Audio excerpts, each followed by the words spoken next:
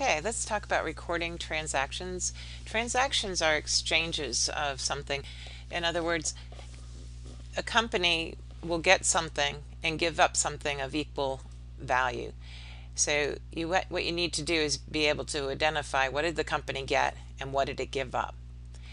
When you're doing this, you've got to be careful to always be taking the perspective of the company, not the owner. Corporations are separate legal entities, so the owners are, are, are not one and the same. So when you do these transactions, you're going to ask yourself, what did the company get and give up? Not what did the owner of that company get or give up. That's important.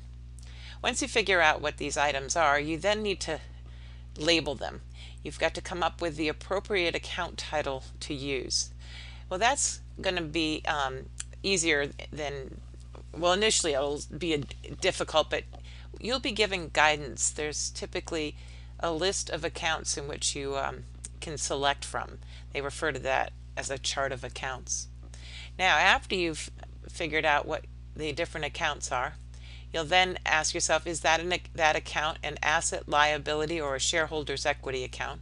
And did that um, make it by getting it or giving it up did that make it go up or down?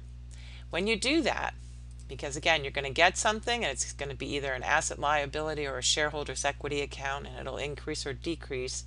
Well it will uh, mirror what you give up so that in the end after you finish recording your accounting equation will remain in balance. And that's really important always to make sure that is the case when you're recording these because that's a great way to ca catch any mistakes.